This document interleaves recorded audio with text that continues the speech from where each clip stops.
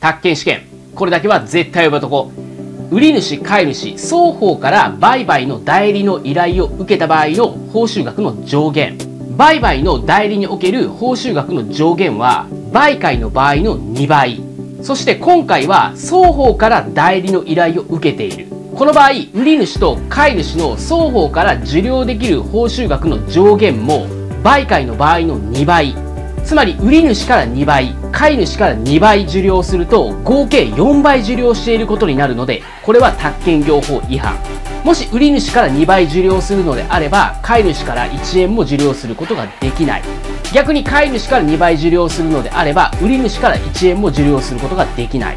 もし400万円を超える物件で、売り主から3%プラス6万円プラス消費税を受領するのであれば、飼い主からも3%プラス6万円。プラス消費税を受領することができる。これで代理業者は合計して売買の場合の2倍を受領しているのでこれは宅建業法違反ではありません。